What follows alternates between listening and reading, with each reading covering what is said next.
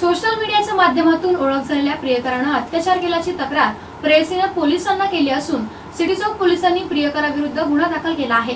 अमोल शिवाजी सोनटके असं संशयिताचं नाव असून तो शहर पोलीस दलात कार्यरत आहे. कायद्याचं शिक्षण घेण्यासाठी शहरात आलेल्या तेवीस वर्षीय तरुणीचा चार्ली पथकात पोलीस शिपाई असलेल्या अमोल सोनटक्केशी सोशल मीडियाच्या माध्यमातून पाच महिन्यांपूर्वी संपर्क आला. अमोलने तरुणीशी फेसबुकवर चॅटिंग करत तिचा मोबाईल नंबर मिळवला.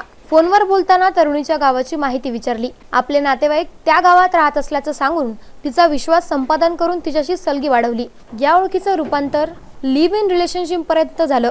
दरम्यान लिव्ह इनमध्ये असताना प्रियकराकडे तरुणीने लग्नासाठी तगादा लावला. तेव्हा आरोपीने तिला कुंकू लावून तिच्या गळ्यात बेंटेक्सचं मंगळसूत्र घातलं.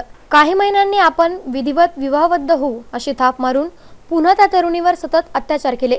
नंतर मात्र तरुणीने लग्नाचा तगादा लावताच तिला शिवीगाळ करत मारहाण केली. आपण पोलीस खात्यात असल्याची धमकी देत तुला काय करायचं ते कर असं सांगून निघून गेला.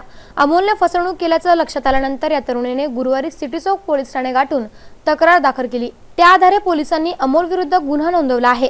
अमोल हा गुन्हा दाखल झाल्याचं समजताच पसार झालाय.